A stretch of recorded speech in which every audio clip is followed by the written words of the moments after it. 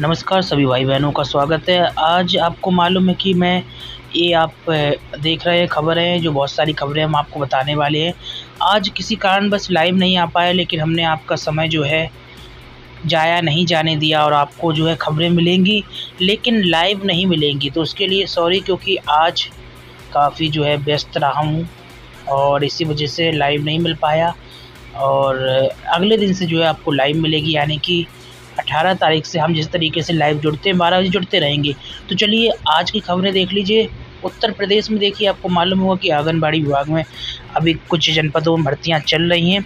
और ऐसे में देखिए, बेरोज़गारी का आलम इतना ज़्यादा है कि बेरोज़गारी से परेशान होकर युवाओं की मजबूरी का आलम यह हो गया है कि बी टेक एम टेक और एम बी ए करने वाली महिलाएँ और युवतियाँ भी अब आंगनबाड़ी कार्यकर्ता पद के लिए आवेदन कर रही हैं। आपको बता दें, इसका खुलासा आंगनबाड़ी कार्यकर्त्री बस आयका भर्ती के आवेदन के आखिरी दिन, जब बाल विकास पुष्टाहार विभाग ने आए आवेदनों की स्क्रूटनी का काम शुरू किया, तब हुआ।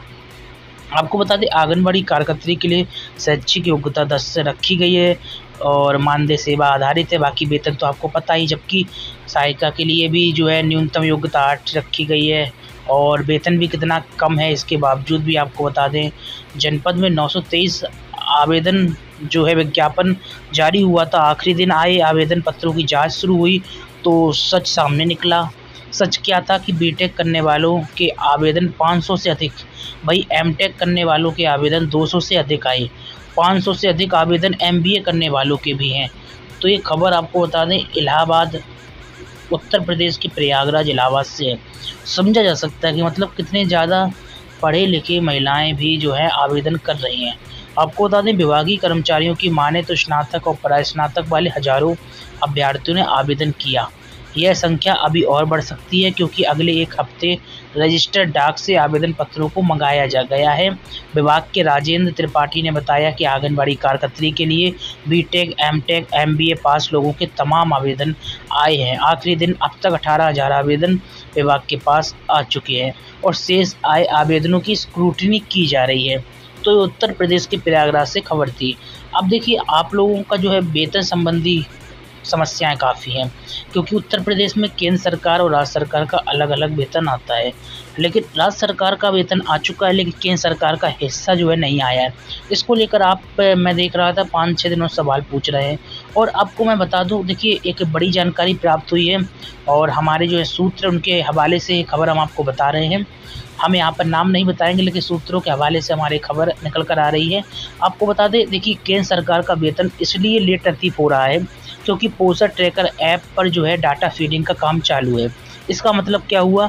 इसका मतलब यही हुआ कि केंद्र सरकार वेतन तब भुगतान करेगी जब आप पोस्टर ट्रैकर ऐप पर काम करेंगे। इसी को लेकर फीडिंग वगैरह का काम हो रहा है और केंद्र सरकार के स्तर से हो रहा है। चूँकि आपको मालूम है, केंद्र सरकार इसी कारण से अभी भुगतान नहीं कर रही है और जब भुगतान केंद्र सरकार का नहीं हो रहा है तो इसका मतलब समझिए कि उत्तर प्रदेश अकेला ऐसा राज्य नहीं होगा कि जहाँ पर केंद्र सरकार का हिस्सा नहीं आया।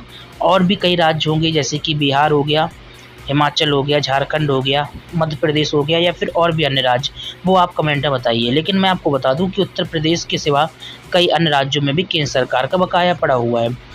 बताया जा रहा है कि देखिए, जो पोषा ट्रैकर ऐप है, इस वजह से जो बकाया पड़ा हुआ है। जब तक पोषा ट्रैकर ऐप में जो डाटा पूरा फ़ीड नहीं हो जाता, जो आंगनबाड़ी कर्मी डाटा भेज रही हैं या फिर सभी नाम जब तक फ़ीड नहीं हो जाते, चूँकि आपको मालूम होना चाहिए कि केंद्र सरकार की योजना है, जो पोषण ट्रैकर ऐप आया है, जिस पर आप लोग काम करते हैं, केंद्र सरकार द्वारा तैयार किया गया है। और इसी कारण से केंद्र सरकार आगे की कार्रवाई कर रही है। और जब तक ये कार्रवाई पूरी नहीं होती, तब तक जो है आपका केंद्र सरकार की ओर से वेतन वेतन जो है, पैसा जो है लटका रहेगा। तो आई होप आप लोग समझ गए होंगे कि अभी तक जो है आपका केंद्र सरकार का हिस्सा क्यों लटका है?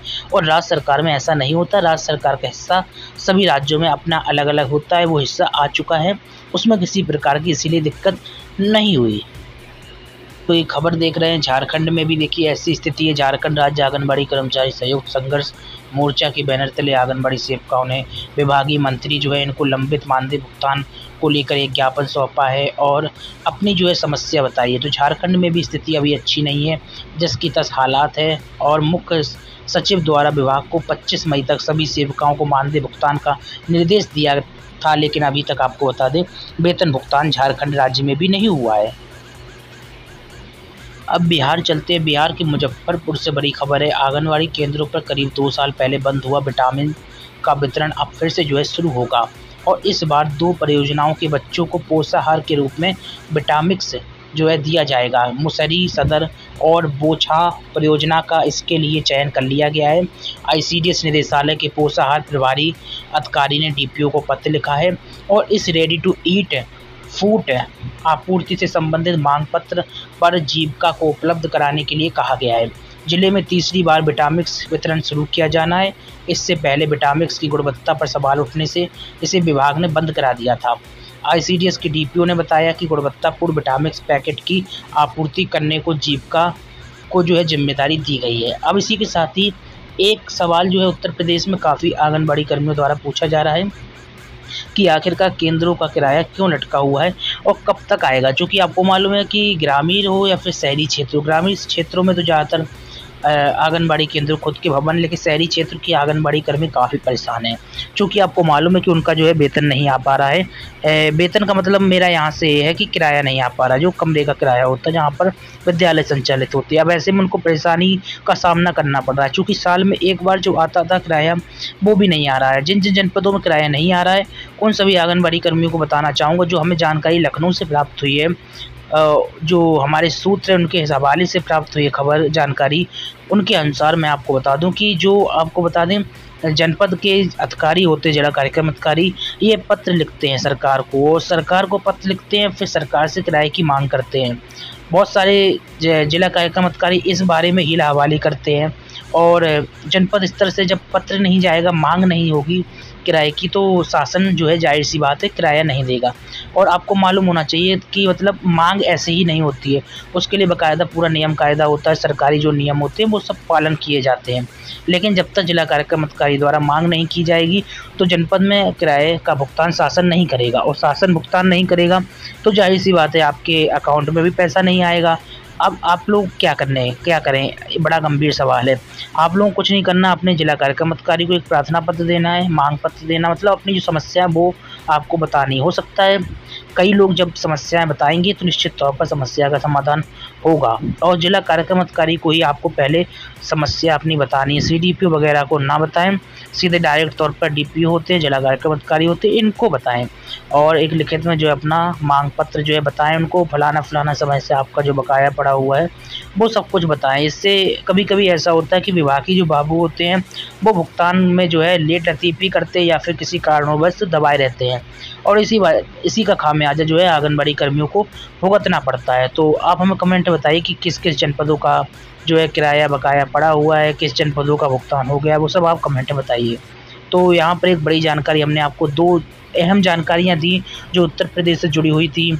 एक तो आपका वेतन जो है, मानदेय जो है क्यों लटका हुआ है, इसका सवाल का जवाब मैंने आपको दिया और इसी के साथ ही एक समस्या थी जो केंद्र की, केंद्र का किराया कैसे आता है, कहाँ लटका है इसको लेकर भी जानकारी दी। दोनों ही महत्वपूर्ण जानकारी थी, जो हमने आपको दी। आई होप आपको समझ में आ गया होगा। लाइक कर दीजिए, शेयर कर दीजिए, चैनल को सब्सक्राइब करके बेल को दबा लीजिए। हर अपडेट आपको रोज़ाना मिलती रहे। तो कल फिर से मिलेंगे बारह बजे और लाइव में। बहुत बहुत धन्यवाद सभी लोगों का। नमस्कार।